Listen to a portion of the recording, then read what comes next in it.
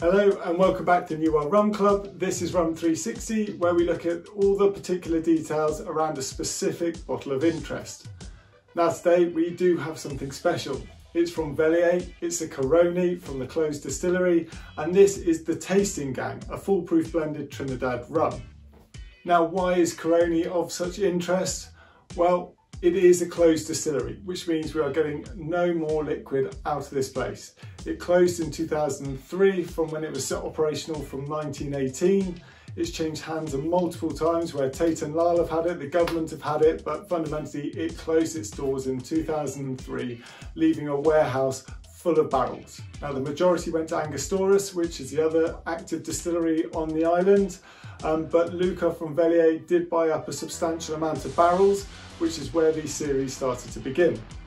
Now Caroni, is it for drinking, is it for collecting, is it for investing? Caroni on itself is quite a particular taste, especially when you look at large, heavy, long tropically aged rums. These are not for everyone. So to say that you've drunk an expensive bottle like this is, doesn't say that you'll like it. You know, these are really quite heavy. You talk about diesel, tar, rubber.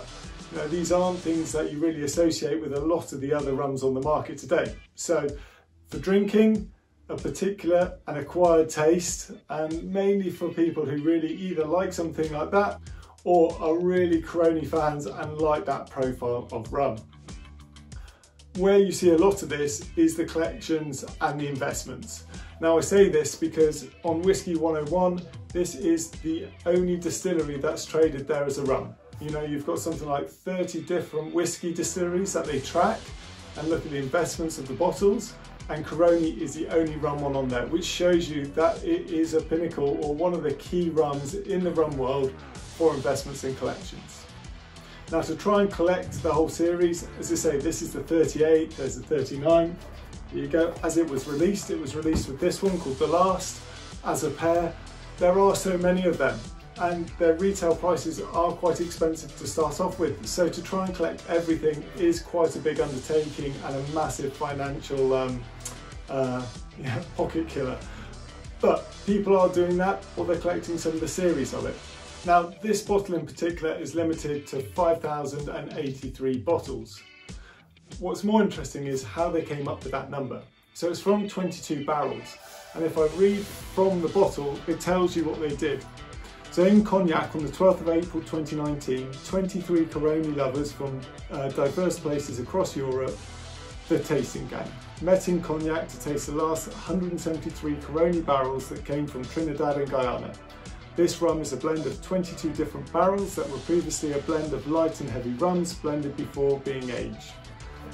So as you can see, right, this, this is a combination from people who love and uh, love, love Caroni, lived and breathed it through those Velier years and have come up with something quite specific in that case.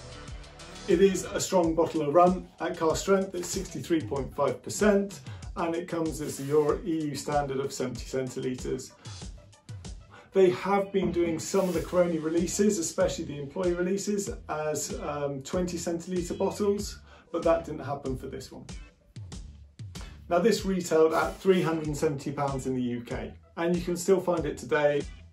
But as you can see from all Caronis, if you go onto the Whiskey 101 you'll start to see that these are only going to go up. And once they've sold out from general retail then you know it is ever increasing. Have a look at the auction site. Have a chat on on the Caroni forums facebook page or on the rum lovers facebook page you'll see that these are high in demand and traded regularly. Now this bottle is 23 years of tropical aging. That is massive. Right, so for that, 12 of the years were aged in Trinidad before moving over to DDL in Guyana, where it was aged for the last 11 years. Now, all of this is in ex-bourbon casks. It was distilled in 1996 and bottled and bottled in 2019. So that's your full 23 years. With 23 years of tropical aging, 85% of the bottle has gone to the angels. Now that is a huge amount and that is one of the key reasons why this is expensive rum and the fact that that is no more of it because it's closed distillery. But when you look at 85%, that is huge. Whiskey loses one and a half to 2% a year. This must be losing between six and 9% a year to get down to that 85%. So should you buy a bottle of this? Look, if you want to try something to drink, go for it. You know, this is part pot, part column still, so it's not the heaviest of the heavy um, uh, Caronis that are on offer today but do understand that it is an expensive bottle and you've got to understand if you like the Caroni profile or not. So suggestion is if you want to try and drink this, try a different Caroni first, it's maybe a little bit cheaper or a sample. If you like that profile then maybe you go for this one. But where you do see this is in the collectors and especially in the investors. And you know it's the investors because of the, the, the whiskey sites and the auction sites. Go and have a look, increasing in value all the time. Sometimes someone dumps a load of stock on there, you might get something a bit cheaper, but really this is something that will go up in value over the next few years for the medium to long term especially. So that's it, that's the Velier Caroni Tasting Gang. Um, this is Rum 360 I hope you've enjoyed this, um, this video. Uh, thank you and goodbye.